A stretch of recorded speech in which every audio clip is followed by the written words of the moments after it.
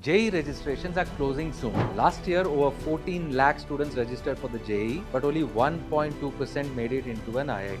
And just 0.2% got their preferred course. This year, you could be one of them, and we wish you all the best. But before you dive in, take a moment and ask yourself Are you chasing brand IIT at all costs? Are you ready to master every trick and technique to crack the four options? Have you already decided to drop a year if you don't get your dream seat? For most students, the answer is yes because that's what they have been told to do. Since childhood, parents, schools, and teachers have pushed the idea that IIT is the only way to success. They want the best for you and they believe only this path guarantees it. But here's what no one talks about the 12th PCM students who don't even register for the JEE. Not those because they are not confident or they're not prepared enough, but those with a better plan. Those a powerful secret.